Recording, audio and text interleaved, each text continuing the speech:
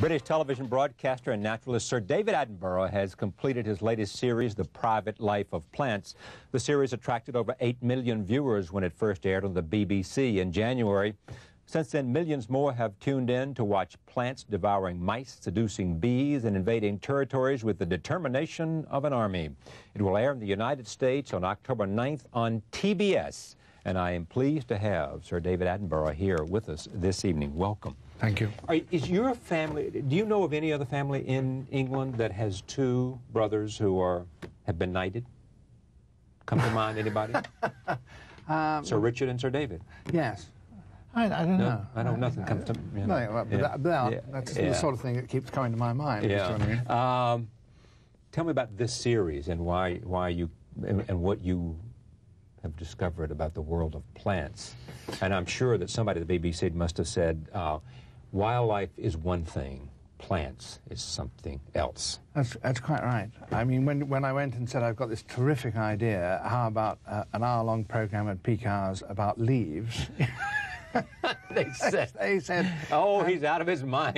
Yeah. And what would you like to do for the encore? Paint drying. um, well, no. I mean, being serious, um, I've been making natural history films for forty years. Yeah.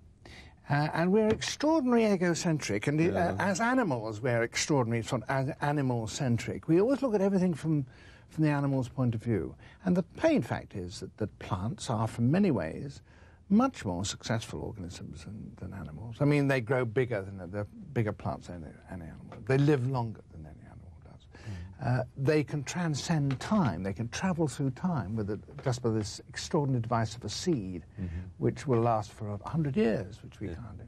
Yeah. And above all, they are the basis of life. I mean, without plants, no animal can exist because there's nothing to eat. Um, and I thought, and when you come to think of it, of course, plants use animals. I mean, we are the servants of plants in many ways. I mean, when you or I pick a blackberry, we tend to think how bountiful nature is to provide us with blackberries to eat. You know? But of course, the blackberry is a device, a, a, rather cheap device at that, by which the blackberry plant manages to get its seeds transported for two or three or four miles because we eat it and we swallow it and the seed comes out a long way away. Um, and it was devised, I mean, it was, it was evolved for that purpose. Mm. You know, one mustn't say that evolution has a purpose in mind because we know it doesn't.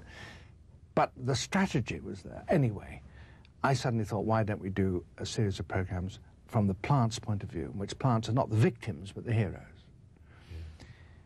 And of course, nobody else has done it before. Why has nobody else done it before? Because uh, plants do anything, as you said. As you yeah. said. But of course, that is because plants live on a different timescale than we do. And if you can change the timescale, if we can move onto the plant's timescale, then suddenly you would see these things are murderers and uh, territorially aggressive and, and shy and uh, uh, collaborative and all these extraordinary things. And of course, we can change uh, time optically these days by, by time lapse, time lapse photography. And, and the reaction of the BBC was because it was you go at, let's go to it. Well, I suppose you know track record yeah. counts yeah, Of course, it does. Yeah. And uh, and and so they. I mean, I gave them that kind of spiel and, I've just given you. yeah, was it was it more difficult to do than yes. the others? Oh yes. Oh yes. And what was difficult about it, other than the fact that?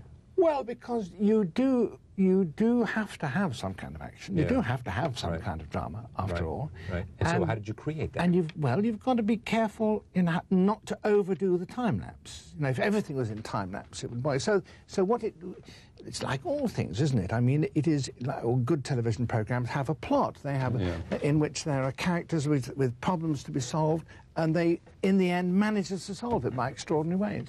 And so, what's the most extraordinary thing you discovered in this? well, I didn't really discover. It was you. just it was just seeing things. Yeah. The the marvelous thing was that you you put your time lapse cameras in front of a situation of a plant which is doing things, whether yeah. it's simply growing or developing or that. And you film it in time lapse over maybe one week, two weeks, three weeks. And when you take it to the viewing theatre, you have no idea what you're going to see. Because no human being has ever seen that before. Yeah. Ever. Now, if I've been filming lions catching wildebeest, I know yeah. whether the lion caught it or not. I know whether, right, you know, right, I take right. it to the theatre. Is it in focus? Yeah. That's what I want to see. Right. But with plants, you just don't hmm. know. Yeah. Set this up for me. The private life of plants, the germinating seeds of the dodder. What, what are we going to see? Well, all right, there's an example. Now, a dodder is a parasitic plant. Mm -hmm. uh, it's quite common in this country in the wild and, and in my country in Northern Europe. Uh, and it, it, because it's parasitic, it doesn't even bother, as it were, to develop leaves. It simply is a tendril, which is going to try and find um, uh, sap and nutriment from other plants. It's, it's a parasite, as humans have parasites. Uh, and this is a sequence in which the seeds of the dodder are germinating near a bed of nettles. Rolled. It's quite amazing. it, I mean, I hadn't seen that before. It's done over, you said to me as we were watching, over a period of 10 days. Mm. And, and, just explain the process a little bit, that you just sat there and... No, we don't sit there no, at no, all. but the camera does. Yeah. Um, uh, as you know, uh, film is normally taken 25 right. frames a second and shown at 25 frames a second. If you only take one frame a second and show it at 25 frames a second, speeds up 25 right, times. Right. So effectively, that's what time lapse is and people have been doing that since the beginning of cinema photography. Yeah. But the, the, the ingenious bits, and it's not my ingenuity, it's that of the cameraman, uh, a chap called Tim Shepherd, um, is, is that we were able, I said to him, look, I want to have as much freedom to pan and zoom and track and move in and out yeah. in time lapse as yeah. you can in normal time. And that means that if you're going to go up with the dodder uh, as it goes up there, you've got to know how fast the dodder grows, and you've got to pro, you've got to put a, a beam yeah. with a little a little carriage on it with a camera, which is going to move up at the same speed as the dodder does. Yeah.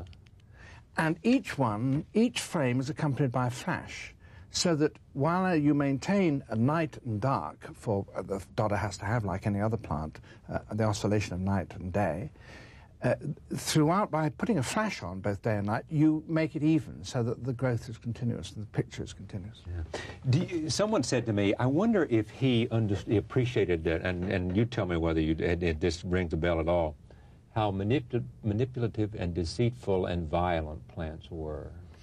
Oh, yeah. I mean, that's in fact what the program is about. I mean, um, uh, deceitful, yeah, deceitful. Um, uh, plants are enormously deceitful. I mean, one of the most engaging deceits of plants. There's a little. Britain has orchids. Everybody thinks orchids grow in tropical rainforests, but yeah. of course, you know, there are little things like that. Yeah. Well, there's an orchid which mimics, which is mimics a female bee. Its flower is an exact replica, well, not an exact, but a close replica of a, yeah. of a female bee. Hairs are all right. It's on the head, even more extraordinary, the flower's perfume is exactly, chemically, the same as the perfume emitted by a female bee when she's looking for a mate. Yeah. And, and the orchid produces this, and the male wasp comes along and says, wow. You know? and, and, you can see him, he lands on, on the orchid, and uh, he tries to mate. And the vigor with which he makes releases a spring in the top part of the orchid's fur. Yeah. So there's, there's a little hammer with a, with a yellow blob of pollen that goes doing and hits him on the back of the neck with pollen. And you can see the bee going, whoo, hadn't quite expected that. Yeah. And off he flies and tries to find another one. So he'd do it all over again, which indeed he tries again. And this time, of course, he's got the pollen on his head. And this time he rubs it off onto another part of the yeah. flower, so the orchid is fertilized. Yeah. It's interesting because uh, you, on, on, this program uh, last week, uh, Bill Safire was here oh, yeah. talking about James Jesus Angleton, okay. you know, who loved orchids. Yes. I mean, that was, you know, and, and in fact, there was a book written about him called An Orchid for Mother, which was his name. Mm. is, is there one, I mean, do you have a particular fascination with any particular plant yourself? Yes, I, I, I uh, am fascinated by a group, a family of plants called the aroids. Uh, the arum lily is, is, is one which we all know. Yeah. It isn't a lily at all. It belongs to this plant, the arum. Uh, the, and the arums uh, uh, attract um, insects and take them prisoner. I mean, the, the, the arum has a, a, a, sort of a shroud, a spathe, yeah. it's called, like, like the arum, that white part of the arum lily. And from the, from the top, as you know in an arum lily, there comes that yellow spadix. Yeah. And that produces a smell which attracts flies. It's not a particularly nice smell. Uh, in, indeed, in some members of the family, it's a smell of rotting flesh. And the flies go in to try and seek this, and they go through downward pointing hairs. And at the bottom, inside this tube, there are a lot of small male flowers and a lot of small female flowers. And the female flowers are ripe. And the flies goes in with lucky, with luck, they've got some pollen from another one. Yeah. And they, and, but they can't get back because of these hairs. So they rummage around trying to get out. In the process, spread the, the pollen on the female stigmas, you see. And then, cleverly, the second night, the male flowers suddenly come out and burst pollen, which scatters all over these flies. You see, they, and at the same, and then, Yeah. thirdly, the downward pointing hairs shrivel. And the flies say, at last we can get out, and away they go, loaded with pollen. Now I know why, after being a big deal executive at the BBC, you decided to leave all that to go back to doing this. Yes, That's a lot of fun. Because, why? Why is it fun? Yeah, no, well, no, why is it fun? But I mean, why did you leave? And with all that sort of power and influence you had at the BBC as head I'm of not- programs and all mm, that role. I'm not so balmy about power. Yeah, didn't. No, I don't think power is particularly attractive. Well, the power to create programs, the power to Ah, influence your ah, development yeah. of programs, the That's, power, that, that is the power to yeah, you but, know, but, see things but through. most people who wield big power, they don't do that sort of thing. They, they use power to manipulate other people. Yeah, and that had no appeal to you at all. Not particularly, no. Yeah. Uh, to be truthful, I, I mean, I, I started as a zoologist, as a biologist Right. and naturalist, uh, and, and I, the greatest pleasures in my life have come, apart from family pleasures, Mm-hmm. and children and so on, but, but, but they come from the natural world. And they and you want to get back to that. Yeah, I, that's what I've been since I left. Yeah, I mean, but it would you. It, it just was. You've also said that that that you you love film much more than writing. Oh yeah, yeah, yes. I, I, I find putting words down so that they aren't cliche written. I find writing a good sentence a very good, a very demanding Satisfying thing. kind of I don't know about satisfying, it's sort of torturing business. I mean, I don't know. But having written a good one is a satisfying yeah, I suppose that's true. result. That's true. But film, moulding film, like, like moulding these films, it's just lovely. You know, Yeah. it's really lovely. You think, oh, no wonder that shot a little longer or maybe a little shorter. But you've also said, I mean, what makes you interesting, you've also said you don't particularly like animals. Well, no, well, I actually I Isn't said, that what you said? I, I- well, I said I didn't love animals. Okay, that's right. But You said you didn't love them. Someone said, "Are you an animal lover?" I said, "No, I, I don't love, Love earthworms. Yeah. I don't love slugs. But slugs. Well, how about lions and, well, and, yeah, and but I mean, they're magnificent they're creatures? fascinating. That's the Yeah. point. They are fascinating solutions to the problem of being alive and of Yeah. and of reproducing. In other words, you don't want to be their friend. You just want to say, I want to be involved in them. you want to say, look, wanna- look, look. My curiosity wants me to to reflect their uniqueness, their character, their Yeah, strength, I mean, their I, some of the most rewarding experiences of my life um, have been in the wild. Um, and we don't want to get too ethereal or pretentious about this, about communication with one. You know, Walden and, Yeah, and all I that. know, I know, You know, right. you know. But go ahead. But that's the sort of thing I'm talking yeah. about. the, the most the most satisfying experiences have been there. Yeah, have been when you are suddenly aware that the that life on Earth isn't just human. Yeah. that life on Earth is infinitely complex, infinitely marvelous, infinitely varied, and a source of deep delight. How do you compare this work with the other pieces, the other series you have done? Uh, I'm almost sorry you, you, you've asked me that because um, uh, it's something one shouldn't really say. Uh, but uh, I think probably this is, this is the best thing which, which I've done. Um, largely because, one, nobody else has done it before, nobody's tried this kind of thing, and, and because a lot of people didn't think you could do it, really. And because most people don't know this the Yeah. way they know. I guess. I mean, everybody's seen Lion Hunting Wildebeest now. And There's a lot of other naturalist films that- a lot of that type. Hmm. This, you know, in, in, in books, yes, but on film, Yeah, no, no, No. no. yeah. What's next? Birds of Paradise. Birds of Paradise. Yes. have you already started? Yeah. I've been What filmed. will it be? Well, that'll be that. That's a real. You said before was it was a, the BBC Alpha Mirror Award. This is a pre, this is a present. This is a little gift from mm. the BBC, really, because Birds of Paradise are extraordinary. There are over forty different species, utterly different from one another. Some of them are only small as as robins, and some are big as pheasants. They only live in New Guinea, and there are islands nearby.